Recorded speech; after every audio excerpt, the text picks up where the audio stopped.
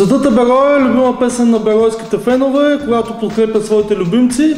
Сега при нас е един от тях, Георги Костадинов. Жора, добър вечер и добре дошъл в предаването. Добър вечер. Ти дойде в Стара Загора преди близо година за началото на този шампионат. Доволен ли си, че си тук? Разбира се, че съм доволен, не съм съжалял за, за нито секунда за решението, което взех през а, миналото лято.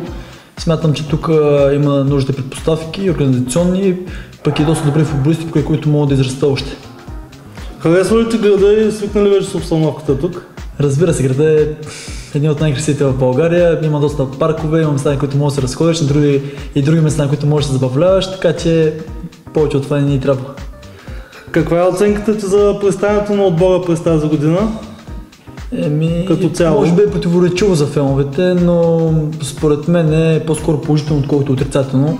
През първата част на сезона изиграхме доста добри мачове срещу водещите отбори, но срещу по-така начините по-малки отбори имахме затруднения, изпитахме колебания, което ни коства класирането в първата седмица. Нека да не забравяме, че имаше и доста контузени футболисти, наказани, което попречи за доброто представяне на отбора. Но през втората част на сезона смятам, че бяхме безапелационни и доказахме, че нашето място е в първите 7 отбора. Имахме затруднения именно с а, по-така слабите отбори, както каза. На вторият а, етап на шампионата обаче ги така бием наред, както се казва. Виждаш ли така някак си... можеш ли да, да ги победим по-рано?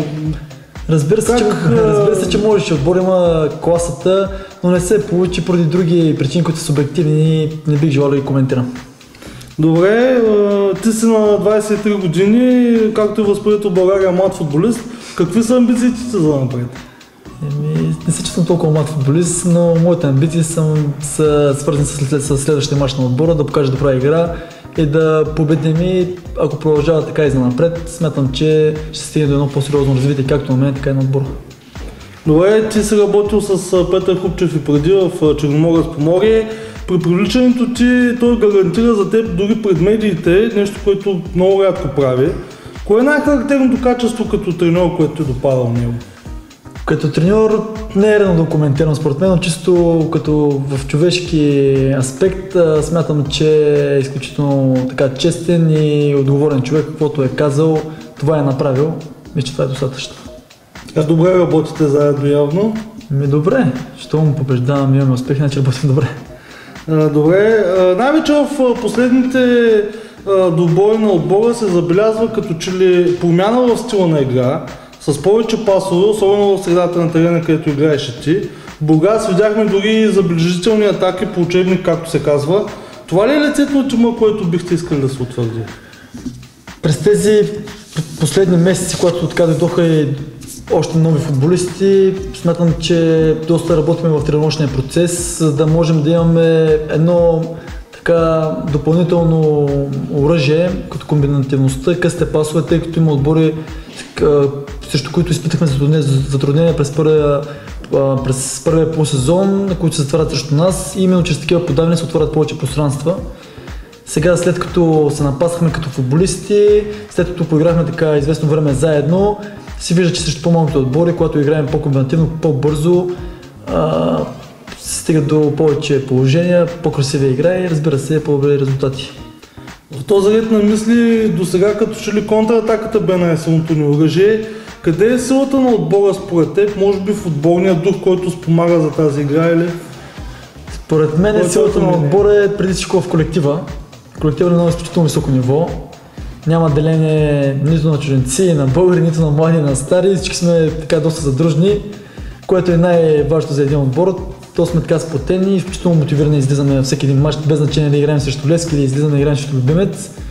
И смятам, че това така е най-силното ни оръжие, плюс разбира се добрата така тактическа грамотност и дисциплина, която показваме на терена. Добре, в последните матчове резултатността се подобри значително. Ти лично отбеляза 5 гола през календарната година. На какво даваш това добро пласиране, голов нюк, заучени положения с твои включвания? Питам те, защото играчи на твоята позиция не бележат толкова често и твоята игра определено прави впечатление. Помагаш в двете фази на играта. Когато играеш с добри футболисти, самият ти личностно показваш по-добри резултати. За мен е лесно, когато имам така добри а, съотборници около мене, които ми създават нали, добри положения, които ми отварят пространство, за да мога да се включим от втора позиция. И всичко се получава доста така лесно, както и ти самия каза, в Бургас се получаваше като по учебник. Играхме изключително силно, което няма как да е иначе, при условие, че имаме така добри футболисти.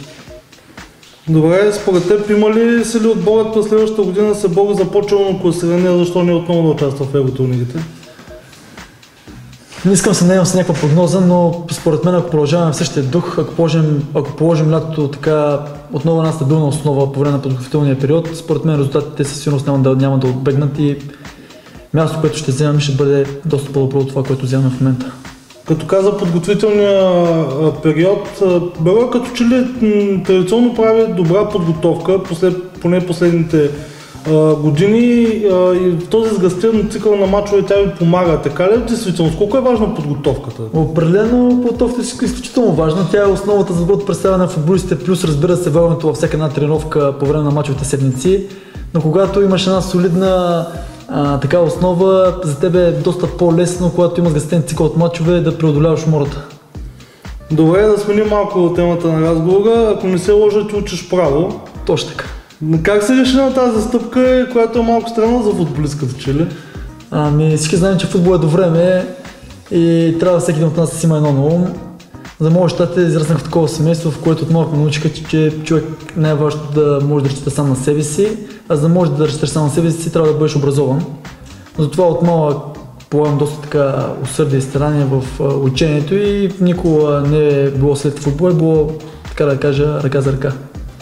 Добре, всички отбора в футбола те наричат мечката. Как получи това прозвище? Ами, не знам. Още в, мисля, в юношеските години, тъй като ядях ногомет по лагерите. Добре. Шампионатът е към своя край, погледът на всички се насочва към най-големия футболен форум, световното първенство. Кой, кой е твоят фаворит за спечелване на трофея? Фаворит. Специално за това световно първенство, смятам, че няма изявен фаворит. Всички погледи са насочени към домакина на Бразилия, традиционно силно представяща се Испания, склада раздури, разбира се, Германия, но лично аз смятам, че това ще бъде форма именно на немския отбор, който е време да спечели голям форма от световното първенство. Фен ли си на немския футбол, вторият на мисли или? Фен съм на всеки отбор, който практикува красив и добър футбол. Добре, имаш ли е, така идоли в футбол? Имал ли си някога? Разбира се, че съм имал и имам.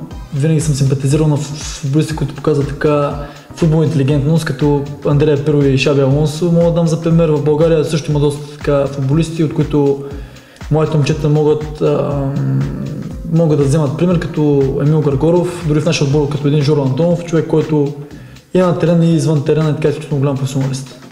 Добре, в края на това интервю, какви са пожеланията ти към феновете на отбора и твоите колеги, разбира се? Еми, преди всичко да бъдат живи и здрави и така всички заедно да изпитаме една силна емоция от следващия шампионат до година. Благодарим ти за този разговор, за това, че бе наш гост. И аз благодаря, че хубаво. Това бе Георги Костадинов, който вече има две шампионски титли на България, а ние му пожелаваме третата да дойде с Берое. Сега продължаваме с следващите теми в предаването.